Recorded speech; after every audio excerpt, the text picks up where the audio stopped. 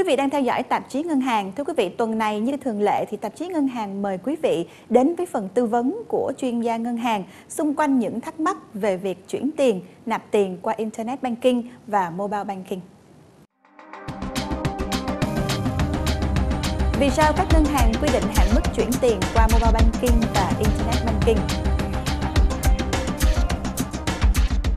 Các ngân hàng thường uh, quy định hạn mức chuyển tiền trên Internet Banking và Mobile Banking, ví dụ như là hạn mức trên một lần giao dịch hoặc là hạn mức trên một ngày giao dịch nhằm để hạn chế rủi ro cho khách hàng. Thì tôi có thể giải thích rõ hơn là ví dụ uh, hạn mức trên một lần giao dịch của khách hàng là một triệu đồng. Thì uh, vì lý do nào đó khách hàng có thể bị mất cắp thông tin thì cái giao dịch mà gian lận có thể xảy ra chỉ một lần thôi và ngay khi khách hàng phát hiện giao dịch gian lận này thì có thể thông báo ngay cho ngân hàng để ngân hàng có thể thực hiện khóa tài khoản và sẽ hạn chế được rủi ro cho khách hàng.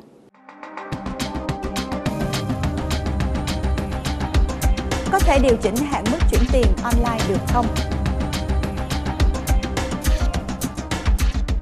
Hiện tại thì đa phần các ngân hàng à,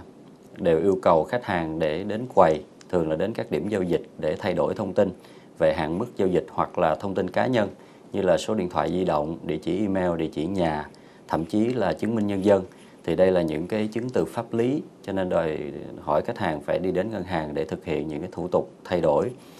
À, một số ngân hàng thì cũng có triển khai cái dịch vụ là cho phép khách hàng thay đổi hạn mức hoặc là thay đổi thông tin cá nhân trực tuyến ngay trên cái website của ngân hàng. Internet Banking có thể nạp tiền cho thuê bao trả trước những mạng viễn thông nào? Trên Internet Banking hiện nay của các ngân hàng à, hầu hết là đều hỗ trợ, ờ, đều, đều đều cung cấp cái chức năng là nạp tiền cho các thuê bao trả trước của các nhà mạng tại Việt Nam. À, ví dụ như khách hàng hoàn toàn có thể chủ động nạp tiền 24 trên 7 mà không cần phải mua thẻ cào và không cần phải nhớ cú pháp của cái mã thẻ cào à, khách hàng có thể nhập số điện thoại và chọn mệnh giá là ngay lập tức thuê bao của khách hàng có thể có được cái cái cái số tiền cần nạp. Quý vị vừa theo dõi chuyên mục Khách hàng hỏi Ngân hàng trả lời trên kênh FBNC. Mọi thắc mắc cần giải đáp về cách thức giao dịch tại ngân hàng, về dịch vụ hoặc chính sách trong ngành ngân hàng, xin quý vị vui lòng gửi vào hộp thư tạp chí ngân hàng FBNC at gmail.com. Chúng tôi sẽ lần lượt đề nghị các ngân hàng hỗ trợ giải đáp đến quý vị trong các tạp chí ngân hàng số tới.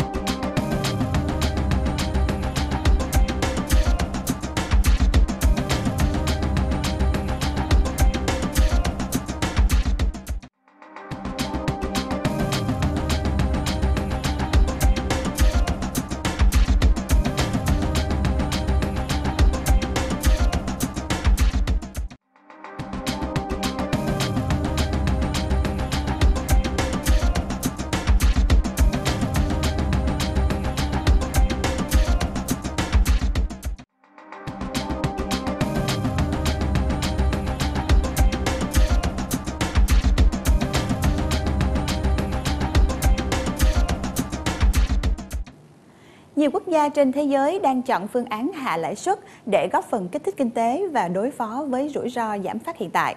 Chính tình trạng này đã tạo cho không ít người cảm giác về một cuộc chạy đua cắt giảm lãi suất giữa các quốc gia nhằm tạo điều kiện cho sự phát triển kinh tế của nước mình. Xu thế này được dự báo sẽ còn tiếp tục diễn ra ở nhiều nơi khi mà tốc độ tăng trưởng kinh tế toàn cầu vẫn còn cần thêm thời gian để cải thiện tích cực trở lại. Những động thái hạ lãi suất gần đây của một số các ngân hàng trung ương châu Á đã gây nhiều bất ngờ cho giới tài chính thế giới. Mới đây vào trung tuần tháng 3, ngân hàng trung ương Hàn Quốc BOK đã quyết định giảm lãi suất xuống mức thấp kỷ lục 1,75% từ mức 2%, vốn được giữ từ tháng 10 năm ngoái. Thông báo này sẽ không có gì bất ngờ nếu trước đó ngân hàng này không thể hiện việc ủng hộ sẽ tiếp tục duy trì mức lãi suất 2%. Theo BOK, quyết định này được đưa ra là do tình hình nợ ở các hộ gia đình đang gia tăng nhanh chóng dẫn đến sự sụt giảm về nhu cầu tiêu dùng và tác động tiêu cực đến đà tăng trưởng của nền kinh tế. Nhiều chuyên gia dự báo nếu Ngân hàng Trung ương Hàn Quốc hạ lãi suất xuống 1,5% trong 6 tháng đầu năm nay, thì tốc độ tăng trưởng có thể đạt 3,8%. Cũng trong một động thái gây bất ngờ tương tự, Ngân hàng Trung ương Thái Lan vừa thực hiện giảm lãi suất lần đầu tiên kể từ tháng 3 năm 2014 xuống mức 1,75%. Trước đó không ai trong số giới chuyên gia nghĩ rằng điều này sẽ xảy ra vì cho rằng nền kinh tế Thái Lan vẫn đang trong quỹ đạo tăng trưởng cho phép. Mặc dù vậy, theo Ngân hàng Trung ương Thái Lan, thì động thái này là cần thiết do kinh tế tại đây nhiều khả năng sẽ tăng trưởng thấp hơn dự báo. Trong số các ngân hàng trung ương châu Á thực hiện nới lỏng chính sách tiền tệ đến thời điểm này, cũng có sự góp mặt của Indonesia khi ngân hàng này đã hạ lãi suất vào tháng 2 vừa qua, đánh dấu việc lần đầu cắt giảm lãi suất trong vòng 3 năm trở lại đây. Theo một cuộc khảo sát của 20 chuyên gia kinh tế hàng đầu do Bloomberg thực hiện, thì không có ai trong số họ dự báo Indonesia sẽ hạ lãi suất vào thời điểm này. Ngoài ra, chỉ từ đầu năm đến nay, Ngân hàng Trung ương Ấn Độ cũng đã bất ngờ thực hiện giảm lãi suất đến hai lần. Bên cạnh đó, ngân hàng này còn cho biết cần phải giữ mức lãi suất thấp để đồng rupee tăng tính cạnh tranh với các đồng tiền khác trong bối cảnh nới lỏng tiền tệ được triển khai ở nhiều quốc gia như hiện nay. Thực tế cho thấy nhiều chuyên gia nhận định họ khá bất ngờ trước những thông tin liên quan đến chính sách nới lỏng tiền tệ tại các nước. Trong khi đó, đối với Úc, Nhật Bản và Trung Quốc đều là những quốc gia thể hiện khá rõ ràng nỗ lực kích thích kinh tế nhằm góp phần hồi phục đà tăng trưởng trước tình trạng sụt giảm hiện tại của lạm phát.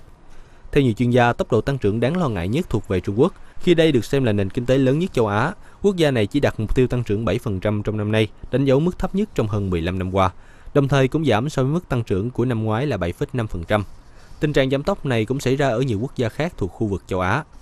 Trên thực tế, làn sóng nới lỏng tiền tệ của các ngân hàng trung ương trên toàn cầu đã khiến cho không ai muốn mình là người ngoài cuộc nhằm tận dụng các cơ hội trong hoạt động giao thương quốc tế.